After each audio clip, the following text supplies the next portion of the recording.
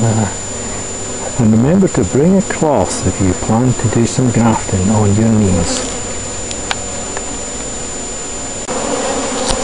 Well done chaps, keep up the good work and don't forget that little bit of wax in the middle.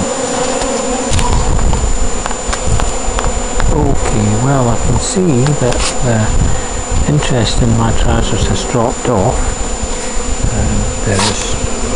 Lots of lovely pollen coming in of various types.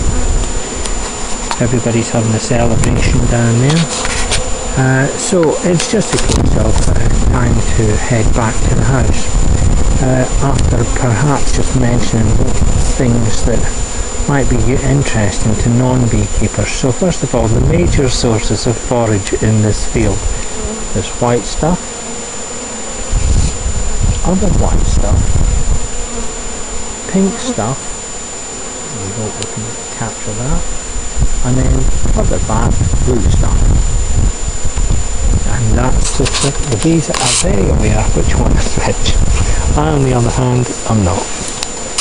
Just kidding.